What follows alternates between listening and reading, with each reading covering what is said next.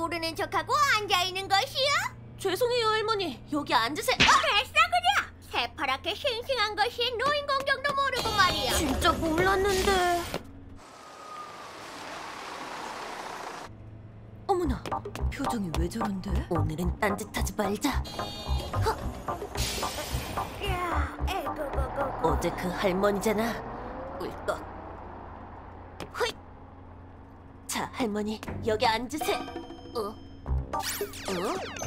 어? 할머니 여기 앉으세요. 고마워 청년 친절하구만 당연한 거죠. 작은 것은 아직도 정신 덜 차렸구만 이럴 수가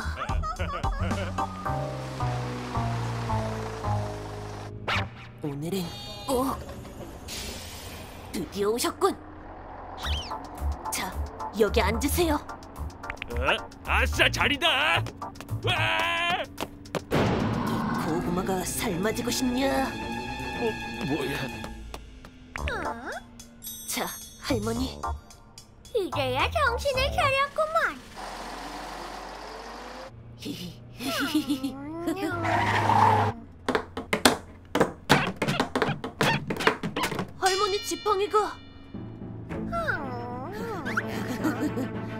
아니 이걸 주워서 드리면. 도둑놈 잡아라! 저 도둑놈 잡아! 왜?